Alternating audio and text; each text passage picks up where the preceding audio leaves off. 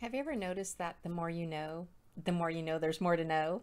Hi, Rosalie here for Wednesday Wisdoms from me and the one who gives us hope and unconditional love.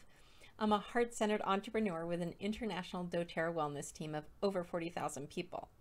I love sharing that as many lives have been blessed by the power of doTERRA, and I pray you're one of them.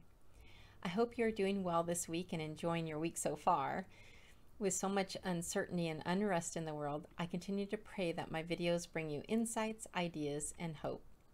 The blessings I receive daily from doTERRA has offered me an incredible way to enhance my life physically, emotionally, mentally, spiritually, and yes, financially too. And I'm available to answer questions for you about any of these areas. This week I've been focusing on the oils within the Kintana blend. It's a personal aroma that brings the beautiful essence of Madagascar to you in this beautiful little bottle. As I've mentioned in other videos, aroma is an important component of our daily wellness because it instantaneous, instantaneously can prompt powerful responses. As research has exhibited, activating our olfactory system can direct our mind to specific memories, relax us, and help create a close connection with whomever we are sharing the experience. Remember the question I started with? Have you ever noticed that the more you know, the more you know there's more to know? I love seeking what scripture has to say about our questions. In Proverbs 1 5, it states, Let the wise hear and increase in learning, and the one who understands obtain guidance. I'm so thankful that I remain open to learning. At it as it has brought me to not only an abundance mindset, but to learning and growing in so many areas.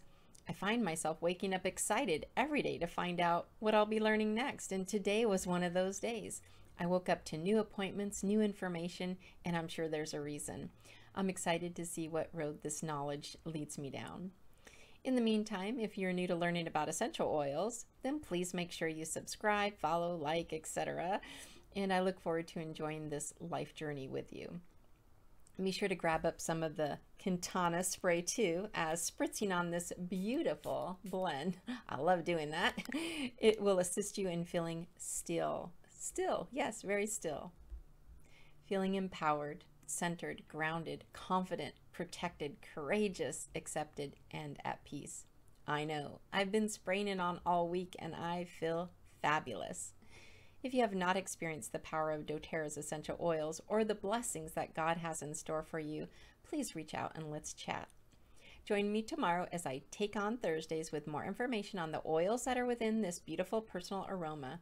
And until then, know that you are loved and that you matter.